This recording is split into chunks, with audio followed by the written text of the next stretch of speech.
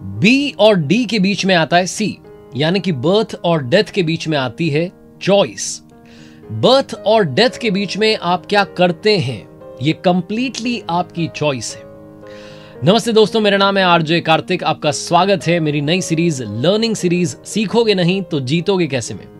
आज मैं उस खिलाड़ी की बात करने जा रहा हूँ जो उन्नीस सौ इक्यानवे में टीम इंडिया में पहली बार आया। उसके बाद उसे ड्रॉप कर दिया गया, चार सालों का इंतज़ार करना पड़ा। उन्नीस सौ छियानवे में फिर से उसे मौका मिला। जब वो खेलने लगा तो इतना कमाल खेला कि उसके बाद उसने वापस पलट करके नहीं देखा। टीम इंडिया में जब कैप्टनसी की दिक्कत आ गई, जब बहुत बड़ा फिक्सिंग स्कैंडल सामने आया तो नए कप्तान की तलाश थी और इस खिलाड़ी को चुना गया। इसने 2003 में टीम इंडिया को वर्ल्ड कप के फाइनल में पहुँचा दिया। सब कुछ अच्छा चल रहा था, लेकिन एक कोच को लेकर के आया, उससे विवाद हुआ, खिलाड़ी को बाहर कर दिया गया। इतना महान खिलाड़ी जिसे फिर से रणजी खेलनी पड़ी। फ़र्स्ट क्लास क्रिकेट खेलना पड़ा। नए लड़कों के साथ में क्रिकेट खेला। शान से वापसी की टीम इंडिया में, शान से विदाई ली। और आज वो भारतीय क्रिकेट कंट्रोल बोर्ड का प्रेसिडेंट है मैं बात कर रहा हूँ बंगाल टाइगर महाराजा दादा, यानी कि सौरव गांगुली की। सौरव चंडीदास गांगुली की लाइफ से वो पाँच बातें क्या हैं, जो आप और हम सीख सकते हैं? आइए बात करते हैं। लर्निंग नंबर वन हमेशा लाइफ में लीडर बनिए बॉस नहीं। जो लीडर होता है, वो हमेशा अपनी टीम के साथ में खड़ा होता है। वो हमेशा अपनी टीम को अपने से आगे रखता है। 2001 की बात है, बॉर्डर गावस्कर ट्रॉफी, जो कि हिंदुस्तान में खेली जा रही थी, कोलकाता में मैच था, ईडन गार्डन्स में, जो कि दादा का अपना होम ग्राउंड है। जहाँ की कंडीशंस जहाँ का पिच जहाँ का मैदान, हर चीज़ से दादा वाकिफ थे। सिलेक्शन कमेटी की मीटिंग हो रही थी, दादा उस वक्त कप्तान थे, और उस मीटिंग में दादा ने कहा कि मुझे खिलाड़ी चाहिए, जिसका नाम हरभजन सिंह है। मैं उसकी ताकत को जानता हूँ, मुझे वो खिलाड़ी अपनी टीम में चाहिए। जो सिलेक्टर्स थे, वो हरभजन सिंह से, भज्जी से उतने इंप्रेस्ड नहीं थे। उन्होंने बोला कि खिलाड़ी काम का नहीं है। दादा ने बोला, मुझे हरभजन चाहिए, जब तक हरभजन टीम में नहीं आ जाता, मैं ये रूम छोड़ करके मीटिंग छोड़ करके नहीं जाऊँगा। दादा अपनी बात पर अड़ गए। और फाइनली सिलेक्टर्स को गिव अप करना पड़ा कि, ठीक है भैया, आप नहीं मान रहे हो तो आप भज्जी को खिला लो। हरभजन सिंह को उस मैच में मौका मिला। पहली पारी की जो पहली पारी का जो बहत्तरवां ओवर था, उसमें हरभजन सिंह ने रिकी पॉन्टिंग को आउट किया, एडम गिल्क्रिस्ट को आउट किया, उसकी अगली गेंद पर शेनवॉन को आउट किया। हैट्रिक ली, लगातार तीन विकेट्स लिए, उस पारी में उन्होंने सात विकेट्स लिए और उसके अगली पारी में छह विकेट्स लिए, यानी कि मैच में तेरह विकेट्स लिए मैन ऑफ़ द मैच बने और उसके बाद में हरभजन सिंह स्टार बन गए। उस मैच से ही दादा ने बता दिया कि दादागिरी हमेशा के लिए चलने वाली है और दादागिरी का मतलब है अपनी टीम के लिए हमेशा खड़े रहना। लर्निंग नंबर टू सीखने वाली सबसे बड़ी बात सौरव गांगुली से यह है कि लाइफ में कभी अपनी इंसल्ट को मत भूलिएगा। अगर आपकी कोई इंसल्ट करता है, आपका कोई अपमान करता है, उसे याद रखिए। और टाइम आने पर, सही समय आने पर, अपनी सक्सेस से, अपने काम से उसे जवाब दीजिए। सौरव गांगुली की यह तस्वीर आपको याद होगी, जब नेटवेस्ट ट्रॉफी का फाइनल था लॉर्ड्स में, जो कि क्रिकेट का मक्का कहा जाता है, वहाँ सौरव गांगुली ने बालकनी में टी शर्ट उतार दी थी। टीम इंडिया मैच जीत चुकी थी, दादा जो है जश्न मना रहे थे। मैं जब गया था लॉर्ड्स के मैदान में घूमने के लिए, वहाँ जो गाइड थे, उन्होंने मुझे कहा कि आप इस वक्त सौरव गांगुली बालकनी में खड़े हुए तो मेरे लिए वो प्राउड मोमेंट था कि क्या बात है, उसी जगह पर खड़ा हूँ जहाँ पर ये ऐतिहासिक पल आया था। इसके पीछे की कहानी है। टीम इंग्लैंड ने भारत का दौरा किया था, मुंबई में वानखेड़े स्टेडियम में मैच था, इंग्लैंड ने हमें हरा दिया था। और जैसे ही इंडिया को हराया इंग्लैंड वालों ने, एंड्रयू फ्लिंटॉफ ने टी शर्ट उतारी थी और मैदान का चक्कर काटा था। उस घटना को सौरव गांगुली ने याद रखा और जब मौका मिला, जब टीम इंडिया ने इंग्लैंड को उनके ही घर में हराया, लॉर्ड्स में हराया, नेटवेस्ट ट्रॉफी में हराया तो सौरव गांगुली ने टी शर्ट उतारी और बता दिया कि, बॉस, टीम इंडिया यहाँ हमेशा हमेशा के लिए रहने आई है, धाक जमाने के लिए आई है। लॉर्ड्स का मैदान वो है, हालाँकि काफ़ी क्रिटिसाइज भी किया लोगों ने कि ये वो मैदान है जहाँ जेंटलमैन क्रिकेट जो है उसको और बढ़ावा दिया जाता है सूटेड बूटेड लोग बैठते हैं। वहाँ सौरव गांगुली का करना क्या ये सही था? बहुत सारी बात हुई, बहुत सारे सवाल उठे, लेकिन मुझे लगता है कि दादा ने दुनिया को बता दिया कि हम डरने वाले नहीं हैं। लर्निंग नंबर थ्री मुझे लगता है कि मेरी लाइफ में मैंने इस बात से काफ़ी कुछ सीखा है। ये लर्निंग नंबर थ्री ज़िंदगी का मंत्र है। लाइफ में कम बैक करना बाउंस बैक करना बहुत ज़रूरी है। सौरव गांगुली से सीखने वाली सबसे बड़ी बात है बाउंस बैक कीजिए। कम बैक कीजिए और कम बैक आपका इतना यादगार रहना चाहिए कि दुनिया याद रखे कि बॉस जब ये गिरा था, लेकिन उसके बाद जब उठा तो सीधा आसमान की उस उड़ान को इसने छुआ था। सौरव गांगुली, जो भारतीय टीम के कप्तान बने, टीम इंडिया में एक नई एनर्जी लेकर के आए नए नए खिलाड़ियों को मौका दिया। युवराज सिंह, मोहम्मद कैफ, वीरेंद्र सहवाग, हरभजन सिंह, जहीर खान, आशीष नेहरा, बहुत सारे नए खिलाड़ी लेकर के आए। एक नई टीम इंडिया बना दी। वो ग्रेग चैपल को लेकर के आए, कोच बनवाया। उन्हें लगा कि ग्रेग चैपल जो है, टीम इंडिया को और अच्छा करने में मदद करेंगे, लेकिन ग्रेग चैपल ने अपनी पॉलिटिक्स खेली और दादा को टीम से बाहर कर दिया। सौरव गांगुली, जो कल तक भारत के कप्तान थे, उनका टीम इंडिया में कोई स्थान नहीं था। सौरव गांगुली कहते हैं कि उनके फादर रोज़ाना सुबह अखबार देखते थे। टीम इंडिया जीत रही थी, और जहाँ टीम इंडिया जीतती थी तो उनके फादर कहते थे कि, बेटा देखो, अब तो तुम्हारे लिए और मुश्किल हो गया तुम कभी कम कर पाओगे कि नहीं? दादा ने कहा, पापा, मैं समझ सकता हूँ कि आपका मेरे लिए कितना प्यार है, लेकिन इंडिया जीत रही है, जीतने दो। मेरे लिए भी कभी ना कभी जगह बनेगी।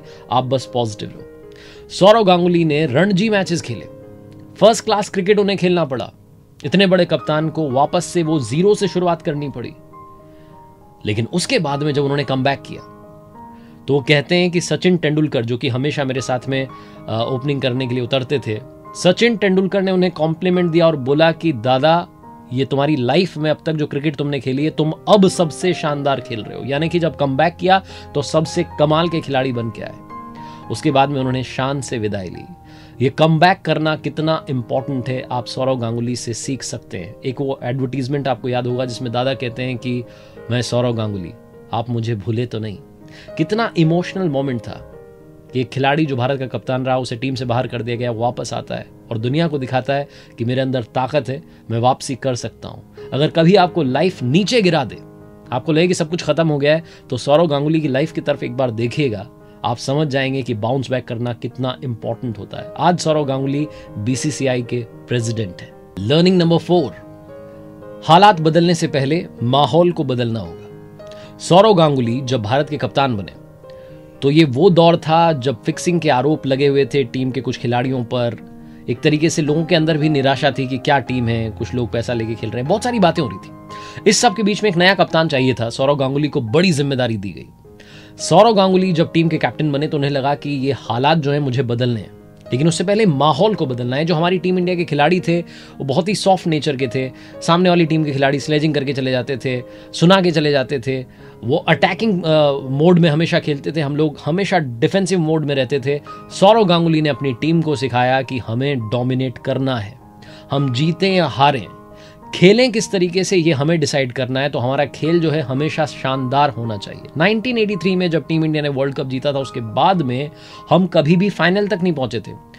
2003 के वर्ल्ड कप के फाइनल में पहुँचना, मुझे लगता है कि बहुत बड़ी बात थी, वो एक वर्ल्ड कप जीतने जैसा था। क्योंकि नई टीम, नया कप्तान और ये सारे लोग जो हैं, पहुँच जाते हैं ऑस्ट्रेलिया का सामना करने के लिए। हालाँकि हम वो मैच नहीं जीत पाए अगर वो जीत जाते तो इतिहास और शानदार हो जाता, लेकिन टीम इंडिया को वर्ल्ड कप के फाइनल तक पहुँचाने का क्रेडिट जो है, वो सौरव गांगुली को जाता है। टीम इंडिया में एक नई एनर्जी, एक नई जान फूंकने का जो क्रेडिट है, वो क्रेडिट जाता है सौरव गांगुली को। सौरव गांगुली के बारे में मोहम्मद कैफ कहते हैं कि दादा ने हमें जीतना सिखाया। दादा ने हमें जीतना सिखाया और धोनी ने उस जीत को आगे बढ़ाते बढ़ाते वो महाजीत की तरफ़ कैसे जाना है, वो हमें सिखाया और आगे 2011 में वर्ल्ड कप जिताया।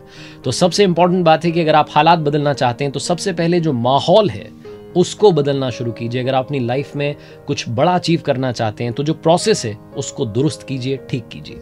और जाते आते लर्निंग नंबर फाइव फेलियर हमेशा टीचर की तरह होता है। उससे सीखते चलिए। जो हार मिलती है, उससे सीखते चलिए। सौरव गांगुली कहते हैं कि जब आप लीडर हैं तो आप जो कुछ भी कर रहे हैं, यंगस्टर्स आपकी तरफ़ देख रहे हैं। वो बोलते हैं कि जब मुझे ड्रॉप किया गया तो हर किसी की निगाह मेरी तरफ़ थी कि अब सौरव गांगुली क्या करेगा? सौरव गांगुली ने फिर से रणजी खेली, फिर से अपने आप को साबित किया। टीम इंडिया में जगह बनाई, और जब जगह बनाई तो शानदार खेले। और शानदार खेल के बता दिया बॉस कि मैं कहीं जाने वाला नहीं था, मैं इधर ही था। बस मेरी लाइफ में एक, बोलते ना कि लो फ़ेज़ आ गया था। सौरव गांगुली ने अपनी बुक में भी लिखा है कि फेलियर का आना भी ज़रूरी है, क्योंकि फेलियर जो होता है वो सबसे अच्छा टीचर होता है। सौरव गांगुली कहते हैं कि जब ऐसा समय आए कि आपकी लाइफ में लो फ़ेज़ है, आप बुरा फील कर रहे हैं, बुरा हो रहा है तो कांच के सामने जाकर के खड़े हो जाइए और शीशे के सामने खड़े होकर के कहिए कि हाँ मैं कल हार गया था, लेकिन मैं कल जीतूँगा, मेरा टाइम भी आएगा। तो कहने का मतलब यह है कि हारोगे नहीं तो सीखोगे कैसे? और सीखोगे नहीं तो जीतोगे कैसे? स्टुअर्ट ब्रॉड तो आपको याद ही होंगे, जिनकी छह गेंदों पर छह छक्के लगाए थे युवराज सिंह ने टी वर्ल्ड कप में। स्टुअर्ट ब्रॉड के लिए करियर की शुरुआत कुछ खास नहीं रही थी। वो करियर की शुरुआत में ही सौरव गांगुली को गेंद फेंक रहे थे। मैच हो रहा था इंग्लैंड में England versus India Sourav Ganguly, Sachin Tendulkar open कर रहे थे। स्टुअर्ट ब्रॉड ने जब बॉल फेंकी तो उसके बाद दादा को कुछ कह दिया। और दादा भी पलट करके आया और उन्होंने भी कुछ कह दिया। तो जब ये ये वाक्य हुआ उस वक्त सुनील गावस्कर साहब, हर्षा भोगले साहब जो है कमेंट्री कर रहे थे। सुनील गावस्कर साहब ने बोला कि शायद दादा ने जवाब देते हुए बोला है कि, स्टुअर्ट, जब तुम अपनी नैपीज में थे, मैं तब से क्रिकेट खेल रहा हूँ। उसके बाद में जब अगला ओवर फेंकने के लिए स्टुअर्ट ब्रॉड आए तो जैसे उन्होंने बॉल फेंकी, उनके सर के ऊपर से सौरव गांगुली ने शानदार छक्का जड़ दिया। अपने लंबे लंबे छक्कों की वजह से दादा हमेशा मशहूर रहे। एक छोटा सा वाक्य मुझे याद आता है, जब वो बंगाल क्रिकेट एसोसिएशन के प्रेसिडेंट थे तो रवि शास्त्री ने उनसे पूछा कि यहाँ पर कोई सौरव गांगुली स्टैंड क्यों नहीं बनवाया मैदान में ईडन गार्डन्स में? तो सौरव गांगुली ने कहा कि रवि, ये पूरा ईडन गार्डन ही मेरा है। यहाँ एक अलग से स्टैंड बनाने की ज़रूरत नहीं है। अपने एटीट्यूड की वजह से, अपने कम की वजह से, अपने क्रिकेट की वजह से, अपनी लीडरशिप की वजह से दादा हमेशा हमेशा के लिए, हम सब के लिए एक लर्निंग लेसन है। जिनसे हमें काफ़ी कुछ सीखना चाहिए और आगे बढ़ना चाहिए। आप देख रहे थे मेरी नई लर्निंग सीरीज़ सीखोगे नहीं तो जीतोगे कैसे? देखिए मेरे साथ हर सोमवार सुबह साढ़े नौ बजे एक नई कहानी और जाते आते वही कहूँगा जो हमेशा कहता हूँ, कर दिखाओ कुछ ऐसा कि दुनिया करना चाहे आपके जैसा।